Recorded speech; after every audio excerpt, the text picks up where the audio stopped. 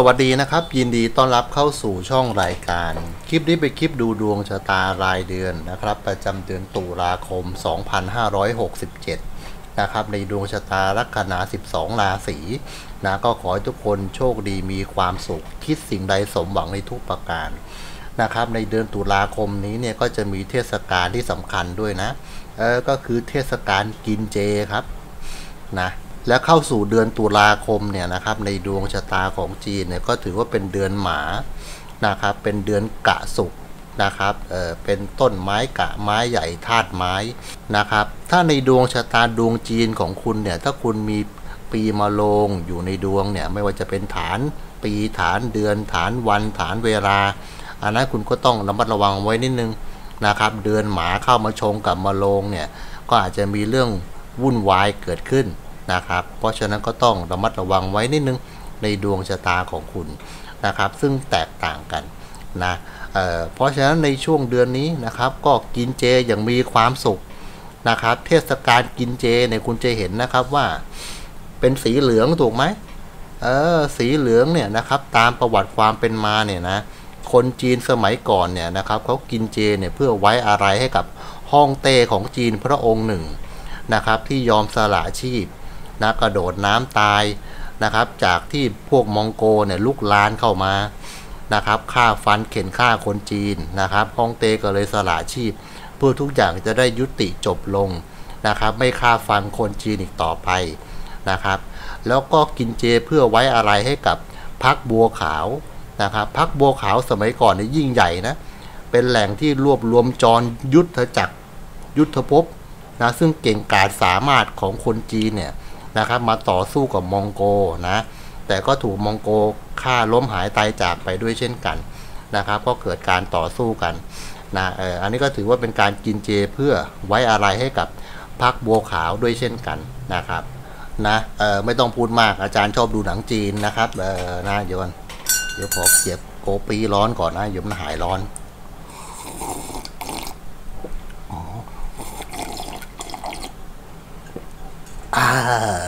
มีความสุขนะครับแล้วเอียปอหอแล้วเอียปอหอนะครับเออนะแหมนะเออเพราะฉะนั้นเนี่ยกินเจอย่างไรให้ได้บุญกุศลนะครับ จะสามารถที่จะช่วยให้กลับร้ายให้กลายเป็นดีได้นะครับ ถ้าบ้านใครเนี่ยนะของคุณเนี่ยมีคัมภีร์ปักเต้าอยู่ของจีนเนี่ยนะครับชะตาชีวิตคุณจะพลิกจากร้ายกลายเป็นดีได้ นะครับ ถ้าคุณมีคัมภีร์นี้อยู่ในบ้านเรือนของคุณเนี่ยนะครับ ถือว่าเป็นมงคลนะพ่อแม่ก็จะอายุยืน เคหสถานปลอดภัยทั้งปวงนะครับ และเรื่องร้ายๆจะกลับกลายเป็นเรื่องที่ดีทั้งหมด อันนี้ก็ถือว่าดีนะครับ เพราะฉะนั้นเทศกาลกินเจในครั้งนี้นะเออก่อนที่ศาลเจ้าเนี่ยนะครับก่อนที่เขาจะยกเสาเต็งโกเนี่ยนะครับเออก็ให้คุณไปที่ศาลเจ้าเลยไปที่วัดนะครับ เพื่อไปทำบุญ นะครับสวดมนต์ไหว้พระปฏิบัติธรรมเนี่ยว่าถือว่าเป็นมงคล แต่ถ้าคุณมีเวลาพอมีเวลานะ ให้คุณอยู่ตรงนั้นเลยนะครับใช้เวลาสักพักหนึ่งถึงจะดีนะครับ เพราะในช่วงระยะเวลาที่กินเจเนี่ยเทพเจ้าเนี่ยจะลงมาในช่วงเนี้ยนะครับ 9 วันเนี่ยถือว่าเป็นมงคล ที่จะสามารถช่วยเสริมดวงชะตาต่อชะตาชีวิตของคุณได้เนี่ยเป็นอย่างดีนะครับ เพราะฉะนั้นในการกินเจเนี่ยนะครับ คุณจะต้องตั้งสัจจะอธิษฐาน นะครับว่าคุณจะกินเจเพื่อใคร เช่น เพื่อพ่อแม่ เพื่อสิ่งศักดิ์สิทธิ์ หรือเพื่อเจ้ากรรมนายเวรนะครับเเพื่อผ่อนหนักให้เป็นเบาได้แก้ดวงชะตาได้นะครับ แล้วคุณจะกินเจนะกี่วันจะ 3 วัน 7 วัน 9 วันเต็มที่อันนี้ก็แล้วแต่เลยตามสบาย ถือว่าเป็นมงคลทั้งนั้นนะครับ ก็ขอให้เทศกาลกินเจนี้ ให้คุณเนี่ยพ้นจากทุกโศกโรคภัยต่างๆ มีแต่สิ่งที่ดีๆเข้ามาประสบความสำเร็จนะครับ เพราะฉะนั้นเข้าสู่เดือนนี้เนี่ยเป็นธาตุไม้ คนธาตุไม้จะมีกำลังเป็นอย่างดี ในดวงชะตา ก็ขอให้คุณประสบความสำเร็จนะครับ ในเรื่องของตำแหน่งหน้าที่การงานก็ขอให้คุณเนี่ยสมหวังในทุกประการเลยนะครับนะเพราะฉะนั้นในเดือนนี้เนี่ยจะมีดวงดาวซึ่งโยกย้ายเปลี่ยนแปลงนะครับ ก็จะมีดาวพุธ ดาวเกตดาวศุกร์ ดาวพุธนี้ก็จะเดินหน้าเสิร์ชอย่างรวดเร็ว ในวันที่ 6 ตุลาคม 67 เวลา 9 โมง 6 นาทีนะครับพุธจะเสิร์ช2ครั้ง เข้าสู่ราศีตุลและเข้าสู่ราศีพิจิกนะครับต่อมาตามด้วยดาวพระเกตวันที่ 9 ตุลาคม 67 เวลา 8 โมง 46 นาทีเกตเข้าสู่ราศีพิจิกในดวงชะตานะครับตามด้วยดาวพระศุกร์ก็เสริฐอีก วันที่ 16 ตุลาคม 67 เวลา9โมง7นาทีนะครับศุกก็เข้าสู่ราศีพิจิกเป็นประเกษตรนะครับในดวงชะตาต่อมาก็คือดาวพระอาทิตย์ย้าย 17 ตุลาคม 67 เวลา 22นาฬิกา57 นาทีนะครับอาทิตย์นี้เข้าสู่ราศีตุลตำแหน่งเป็นนิดนะครับแต่ได้เป็นองค์เกณฑ์ในดวงชะตาของราศีตุลนะครับต่อมาก็คือดาวอังคาร อังคารนิมนต์ วันที่ 19 ตุลาคม 67 เวลา 8 โมง 6 นาที อังคารนิมนต์เข้าสู่ราศีกรกฎตำแหน่งเป็นนิด แต่ถ้าดวงชะตาใครคุณวางแผนดวงชะตาคุณอย่างดีก่อนหน้านี้นะครับที่อาจารย์บอกคุณทุกราศีคุณจะไม่มีอุปสรรคไม่ติดขัดใด ๆ ทุกอย่างจะราบรื่นไปตลอด 45 วันนะครับ ดาวต่อมาก็คือดาวพระพุธ พุธนี้ก็จะมนในวันที่ 24 ตุลาคม 67 เวลา 22นาฬิกา45 นาที พุธนี้มนเข้าสู่ราศีพิจิกนะครับ ในดวงชะตา นะ แล้วก็จะมีพระจันทร์ดับกับพระจันทร์เปลี่ยนเดี๋ยวค่อยว่ากันนะครับ ถ้าท่านใดสนใจนะครับ ที่จะดูดวงชะตานะครับ ดูเลิกทำการมงคลต่างๆ เลิกออกรถขึ้นบ้านใหม่เปิดร้านแต่งงานผ่าคลอดดูเปลี่ยนชื่อนามสกุล ดูบ้านเลขที่ดูศาสตร์แห่งตัวเลข ดูดวงชะตาโหราศาสตร์ไทยระบบสุริยญาตนะครับ และดูดวงชะตาจีนโป้ยหยี่สีเถียวนะครับ ดูฮวงจุ้ยออนไลน์นะครับ ตามหลักโป้ยแท้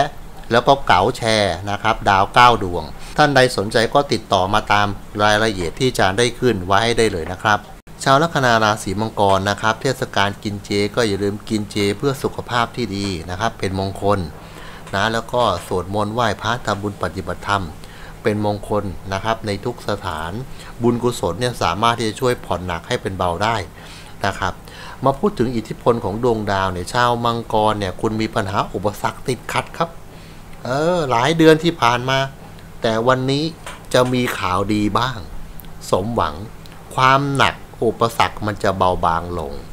นะครับ ไม่ว่าจะเป็นดาวเสาร์และดาวพระราหูของชาวราศีมังกร จะมีข่าวดีนะครับ มาพูดถึงดาวดวงแรกเลยก็คือดาวพระพุธพุธนี้จะเดินหน้าเสิร์ชอย่างรวดเร็ววันที่ 6 ตุลาคม 67 นะครับ เวลา9โมง6นาทีเนี่ยนะพุธนี้ก็เสิร์ชเข้าสู่พบกรรมะนะครับเอออาริกรรมะอุปสรรคปัญหานั้นเป็นงานของคุณนะครับ ที่จะต้องทำให้ดีขึ้นนะแต่ว่าในเกณฑ์ในช่วงนี้คนมังกรเนี่ยก็จะเป็นคนที่รักในการทำงานเป็นอย่างดี นะครับรักในการทำงานนะอุปสรรคปัญหาเป็นงานทำให้ดีนะครับ แล้วคุณก็จะมีสุภกรรมมะความสำเร็จเรื่องงานสำเร็จวิ่งเข้าหางานคุณดีนะครับไม่ได้มีปัญหาอุปสรรคอะไร มาพูดถึงดาวต่อมาเลยก็คือดาวพระเกตในดวงชะตาดาวเกตย้าย 9 ตุลาคม 67 เวลา8โมง46 นาทีเนี่ยเกตย้ายเข้ามาเนี่ยนะครับเข้าสู่ภพลาภะนะคนมังกร คุณจะเป็นคนที่มักสนใจในเรื่องของศาสตร์เล่นลับลี้ลับต่างๆ โหราศาสตร์ไสยศาสตร์ และคุณจะมักจะมีโชคดีจากสิ่งศักดิ์สิทธิ์ หรือของเก่าของโบราณ และเลข 9 จะนำโชคลาภเป็นอย่างดี 2 เดือนเต็มนะครับมรสุมได้ผ่านพ้นมรสุมคุณจะผ่านตั้งแต่ 9 ตุลาดีขึ้นนะครับมีเกณฑ์การเรียนรู้วิชาความรู้เพิ่มเติมนะครับ ดาวต่อมาก็คือดาว พระศุกร์ดาวศุกร์นี่ก็จะเดินหน้าเสิร์ชอย่างรวดเร็ววันที่ 16 ตุลาคม 67 เวลา7โมง7นาทีนะครับศุกร์เสิร์ชเข้าสู่พบลาภะครับ โชคลาภนะตามเกณฑ์ผีพระเคราะห์ทั้ง 8 องค์มีพระอาทิตย์เป็นต้นพระราหูเป็นที่สุด คือทรัพย์สมบัติของคุณครับ เออช่วงนี้ปุตตะลาภะบุตรบริวารนนำโชคลาภมาให้ เป็นประ ราะฉะนั้นก็ให้บุตรบริวารไปซื้อลอตเตอรี่ให้ก็ได้นะครับกรรมะลาภะงานที่ทำจะนำพามาซึ่งลาภและผลประโยชน์อีกทีนะของชาวราศีมังกรนะครับ ถือว่าดีไม่เสียนะสุขเข้าตรงนี้ติดต่อสื่อสารกับเพศตรงกันข้าม ถือว่าให้คุณกับเจ้าชะตาราบลื่นโดยง่ายทำให้เต็มที่ไปเลยนะครับนะพูดถึงดาวต่อมาเลยก็คือดาวพระอาทิตย์ ในดวงชะตาดาวอาทิตย์ย้ายวันที่ 17 ตุลาคม 67 เวลา 22นกา57 นาทีอาทิตย์เข้าสู่ภพกรรมมา คุณจะมีงานทางไกลต่างถิ่นต่างแดน ติดต่อเข้ามานะครับ ก็ขอให้คุณโชคดีประสบความสำเร็จ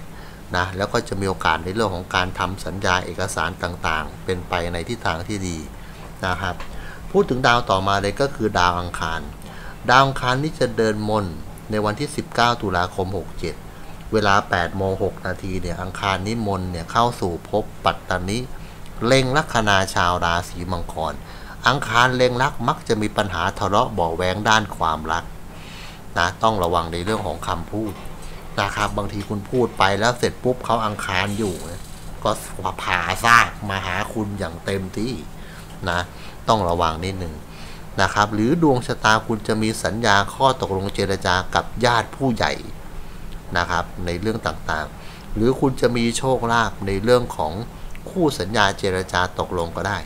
มีลาบเข้ามาด้วยในระดับหนึ่งนะครับเพราะโดยตำแหน่งเป็นนิดนะมาพูดถึงดาวต่อมาเลยก็คือดาวพระพุธพุธนี้จะเดินมนในวันที่ 24 ตุลาคม 67 เวลา 22นาฬิกา45 นาที พุธนี้มนเข้าสู่ภพลาภะโอ้ยคุณก็จะดีอย่างต่อเนื่อง อุปสรรคปัญหานำลาบมาให้สุภะลาภะจะมีโชคลาภเครดิตที่ดีครับ เพราะฉะนั้นเต็มที่ไปเลย ตัวเลขนำโชคช่วงนี้ของชาวราศี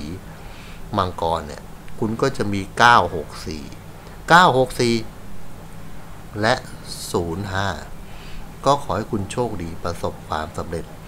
นะครับ แล้วต่อมาเลยมาพูดถึงดาวประจำตัวของชาวราศีมังกร คือดาวพระเสาร์ คือดาวเสาร์เนี่ยหลายเดือนที่ผ่านมาบางคนมีอุปสรรคคดีความติดขัดหลายเรื่องนะครับ แต่ดวงชะตาของคุณในช่วงเนี้จะดีขึ้น ดาวเสาร์เสียอยู่เดินถอยหลังเพราะฉะนั้นดาวเสาร์ก็จะถอย อันนี้บอกเลยว่าถอย ตั้งแต่วันที่ 8 ตุลา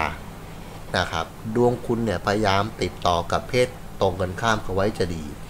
นะครับ เพราะก่อนที่คุณเนี่ยก่อนหน้านี้คุณเสียเพราะติดพิษมันเสียนะครับ คุณก็ก็จะดีขึ้นมาหน่อยหนึ่งนะไม่ติดพิษนะครับ แต่ว่าดวงคุณพยายามพูดคุยติดต่อเจรจา กับเพศตรงข้ามจะให้คุณต่อเจ้าชะตานะของชาวราศีมังกร ส่วนการเงินอันนี้สำคัญ คนราศีมังกรเนี่ยถึงแม้ว่าคุณจะมีปัญหาอุปสรรคก่อนหน้านี้ การเงินคุณได้ดีครับ การเงินดี แต่เดือนนี้การเงินคุณจะเสีย มีปัญหาอุปสรรคนะครับ ให้ระวังในเรื่องของเอกสารสัญญาคดีความคำพูดนะครับ การวิวาทะนะครับ ต้องระวังนิดหนึ่ง อันนี้พูดรวมๆนะ คุณต้องระวังตั้งแต่วันที่ 28 เป็นต้นไปนะเรื่องการเงินต้องระวังให้ดีจะมีปัญหาอุปสรรคนะครับ ต่อมานะครับจะมาพูดถึงในเรื่องของพระจันทร์ดับกับพระจันทร์เป็นนะครับเดี๋ยวขอซวบกาแฟก่อน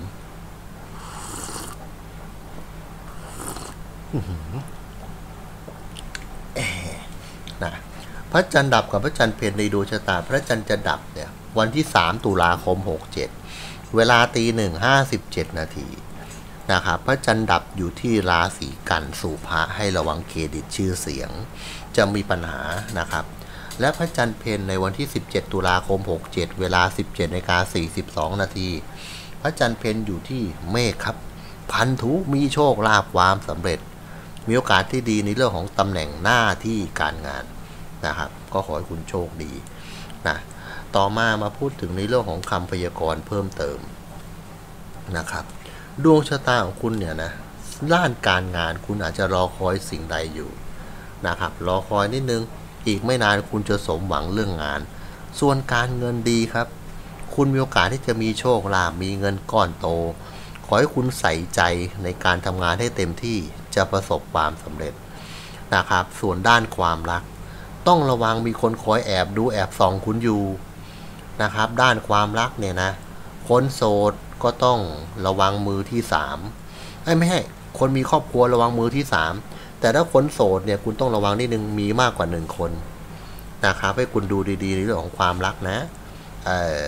อันนี้มาพูดถึงในเรื่องของแต่ละวันนะครับว่าคุณจะทำอะไรได้บ้าง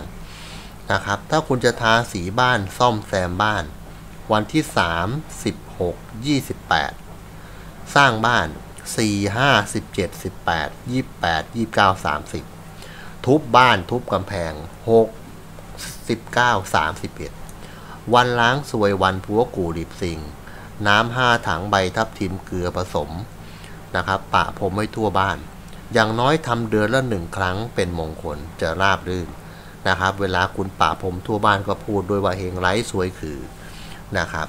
วันที่ 1 14 26นะวันเก็บทรัพย์ เก็บทรัพย์แล้วรวย เก็บเงินเก็บทองแล้วรวย วันที่ 10 12 22 24 เดินทางแล้วดีประสบความสำเร็จ วันที่ 2 10 11 12เอ้ย13 15 22 23 25 27เซ็นสัญญาแล้วดี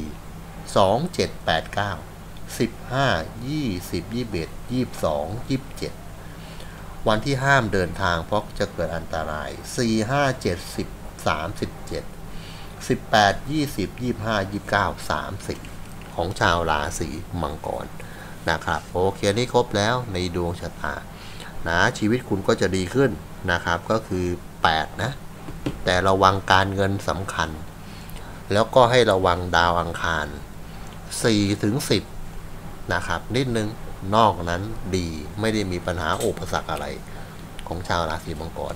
อย่าลืมกดไลค์ กดแชร์ กด Subscribe กดแชร์คลิป กดกระดิ่งให้กระจายด้วยขอบคุณมากนะครับ สวัสดีครับ